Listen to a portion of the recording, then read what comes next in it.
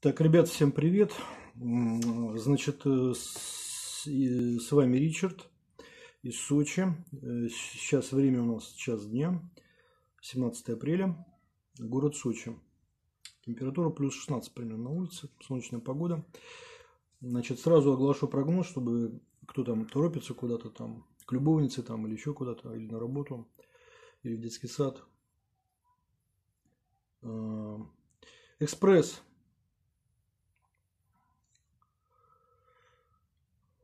Два события.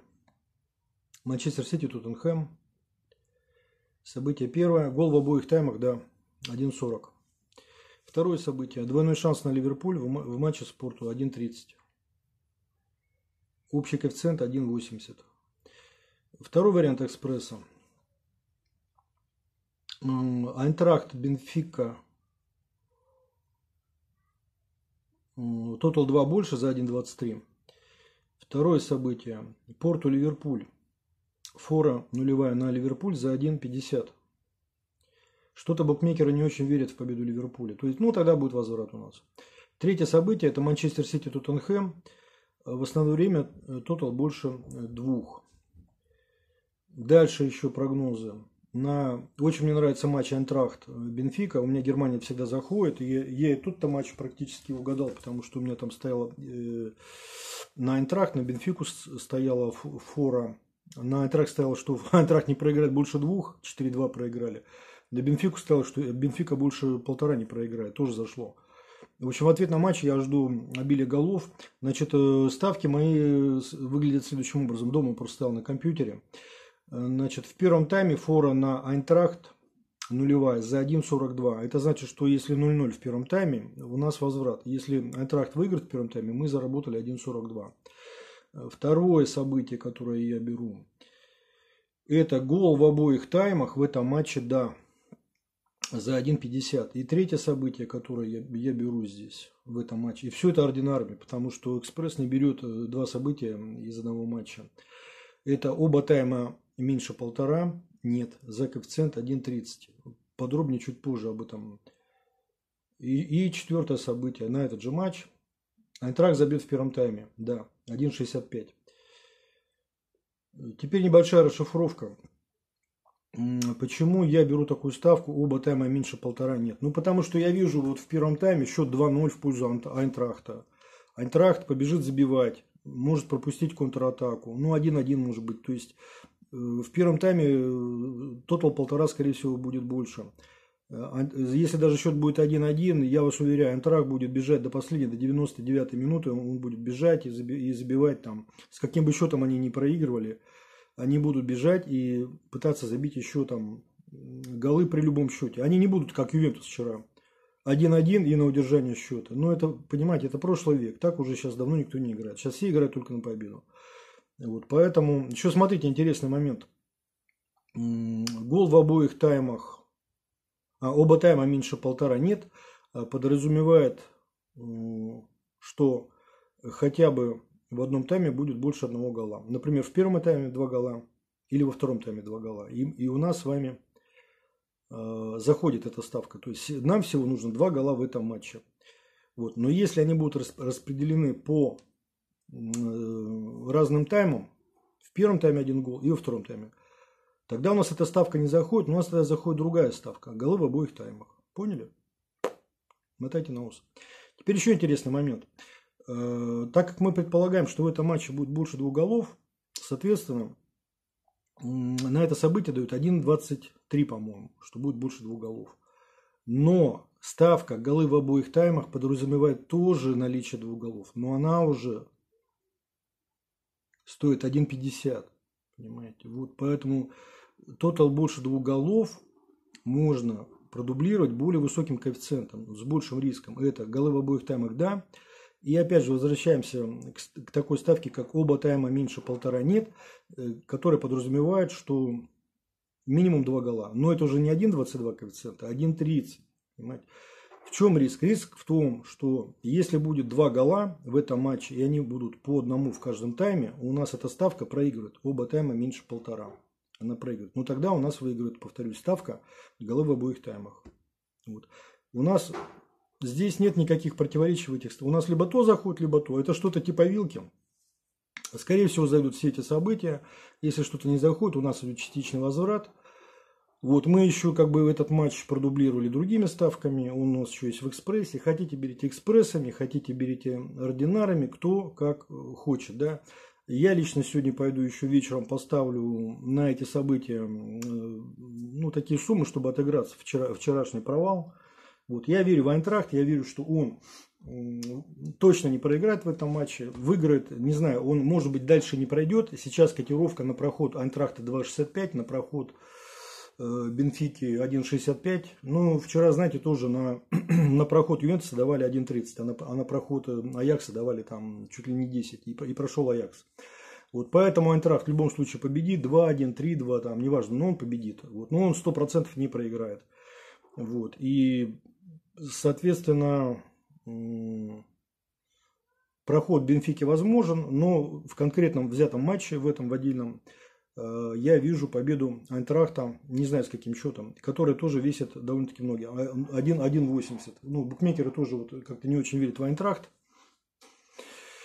Ну, я почему-то верю в этот. Просто э, исходим из того, что команды забивны. Заметьте, я тут в этом матче, я не беру исход самого матча, потому что, возможно, 2-2, там 3-2, возможно, даже и 2-3, что Бенфика выиграет. Я просто беру победа в первом тайме, э, даже не победа, а фора. Фора на Айнтрахт. Безрисковая ставка, 1.42.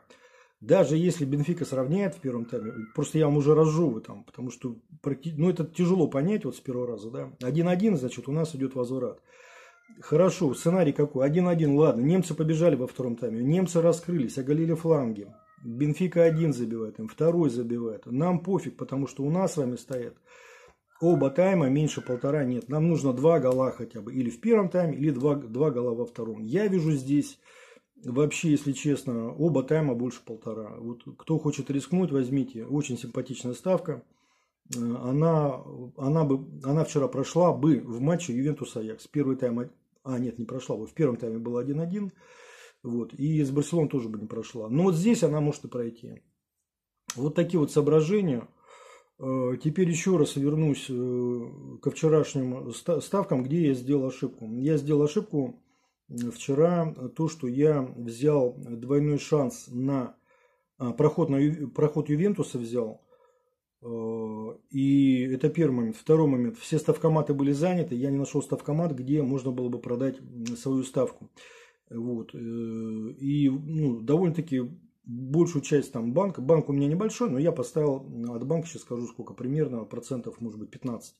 Вот. У меня этот, э, было два события. Победа Барселоны, чистая победа и проход Ювентуса. Ювентус повел 1-0, Барселона повела 1-0.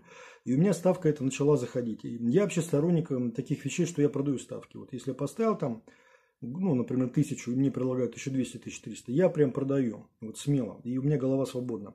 Но мне вчера просто не повезло. Вот мой ставкомат, конкретно в фонбете, он эту ставку не, не выкупал. Э, и, в общем-то, а потом Ювент, этот, Аякс сравнял. Вот это была первая ошибка, поэтому надо приходить заранее в клуб. Надо выбирать стол, где ставку можно продать, где можно застраховать, чтобы у вас была маневренность, понимаете? В этом нет ничего такого. Э, значит, потом вторая ошибка моя была в том, что у меня Ювентус этот был в нескольких вариантах Значит, тотал Ювентуса, а тотал Аякса был меньше полтора я брал, но они забили два гола.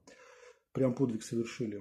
Потом был не проход Ювентуса, по-моему, двойной шанс на Ювентус где-то. В общем, везде Ювентус этот у меня не зашел. Вот. Но это, ребят, сенсация, он вчера у всех не зашел. Что там вот? Вот э, этим футбол прекрасен. Поэтому на будущее, если вы в каком-то матче сомневаетесь, вы его либо вообще не берите, а, но если уж берете, берите где-то там ординаром и находите какую-то такую ставку нейтральную. Вот как вчера, например, обе забьют, Ювентус Аякс зашло. Вот кто брал, ну, ну брали же как, обе забьют и победа Ювентуса, понимаете. Или там обе забьют, но э, индивидуалка Аякса меньше полтора. Там. Вот такие вот вещи. То есть э, берите что-то одно, чтобы вот прям наверняка. В этой связи я вот пока не хочу прогнозировать матч Валенсия-Вильяреал. Э, пока его сильно не смотрел. И, если честно, нет никакого желания. Потому что после того, как Валенсия победила 3-1, по-моему, да, у них на поле, или 4-1, сейчас уже не помню. Ну, Валенсия может и проиграть у себя на поле там 1-0, 2-0, и, там, и они все равно проходят дальше. Вот. И зачем как бы искать приключения да, на свою голову. Вот. Челси Славе я, конечно, вижу победу Челси. Подробно не смотрел. Завтра или сегодня вечером еще посмотрю, попробую выложить. Вот. Наполи Арсенал. Наполи Арсенал тоже мутный, мутный матч. 2-0 Арсенал выиграл в первом матче. Что там будет на выезде? Я пока ничего не могу вам сказать. Я, я пока не вижу. У меня пазл в голове не сложился, потому что и Челси английская команда, и Арсенал английская команда. Это команды трудно, трудно прогнозируемые. Вот. Единственное, что я еще месяц назад поставил ставку в Бэтсити такую, что э, Лигу Европы в этом году выиграет команда из Англии. Коэффициент был, по-моему, 1,90 на тот момент. Я поставил на Арсенал, что Арсенал выиграет Лигу Европы за 5,50. И поставил на Челси. На Челси давали 2,80. Вот сейчас захожу, уже там намного меньше дают. То есть постепенно прогноз заходит. Значит, в этой связи можно предположить, что Челси, конечно, пройдет Славию. И Арсенал, скорее всего, пройдет Наполе. Э, можно взять, знаете, что какую вот интересную ставку? Гол Арсенала, да. Вот как вчера Аякс. Забил один гол и все. Ведь смотрите, когда у, команд, у команды есть такой гандикап, как два гола на своем поле, э, в выездном матче у них задача максимум э, – это забить хотя бы один гол. И тогда Наполе нужно уже забивать будет 4 гола, по-моему, да? То есть 3 им не хватит, потому что 3-3 получается, но Арсенал забил. То есть нужно 4 гола забивать. Понимаете? Вот, а теперь скажите мне, что более, какое событие более вероятно? Что Арсенал забьет один гол или, или Наполи забьет 4? Конечно, проще Арсеналу забить один гол. Поэтому смело